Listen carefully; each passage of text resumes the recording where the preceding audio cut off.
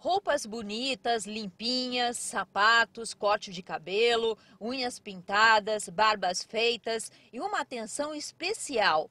Tudo de graça por aqui. Cada um que chegava era tão bem recebido que nem tinha pressa de ir embora. Silvana, 27 anos, grávida e desempregada, já havia escolhido duas peças. Podia levar até 10 para casa. Um shorts, muito bonito. Dorgival, morador de rua há três anos, entrou na fila e estava ansioso. Um tênis, um, um, um boné, umas, umas três bermudas, cinco camisas, só. Ele olhou, procurou e escolheu. Era nítida a felicidade. Mas como surgiu a ideia de ajudar o próximo? Rafaela é quem conta pra gente. A ideia começou com esse projeto, que foi idealizado na África do Sul. Uma organização idealizou esse conceito e hoje em dia com a internet, as redes sociais, isso toma conta do mundo rapidamente, né?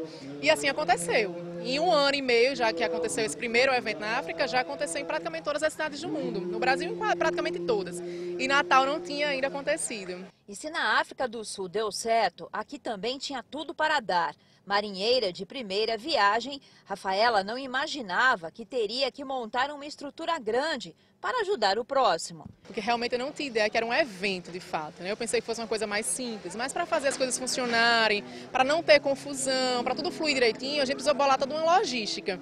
E aí correr atrás de pessoas que doassem que fizessem um preço mais bacana das grades, que doassem as tendas, que cedessem caminhão baú. Boa parte do que está aqui hoje foi doação.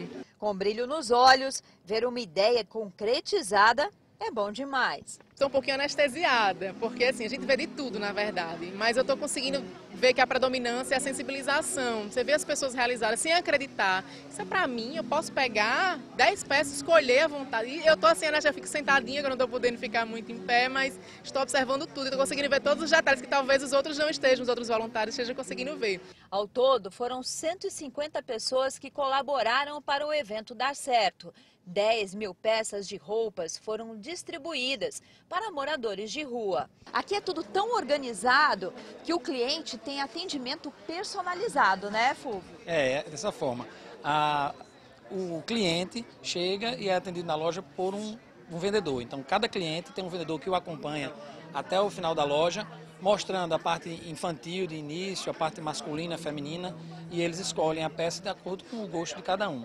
Miguel sabe bem o que é ajudar o próximo. Recebeu esse convite maravilhoso, e como a gente já tinha já uma história com eles, automaticamente eu aceitei, né? Porque o carisma é muito lindo, viu? É algo que a gente não vê, mas é igual a fé, né? É coisa que a gente não vê, mas a gente sente. Maria trouxe a filha Joseane e o filho Gabriel. Falta roupa para alguma coisa, né? A gente vem para pegar. Aí a senhora vai levar 10, o Gabriel 10 é. e a é. Josiane 10. É, para né, a família inteira. Profissionais do SENAC também participaram. Pintaram as unhas, fizeram barba, cortaram cabelo.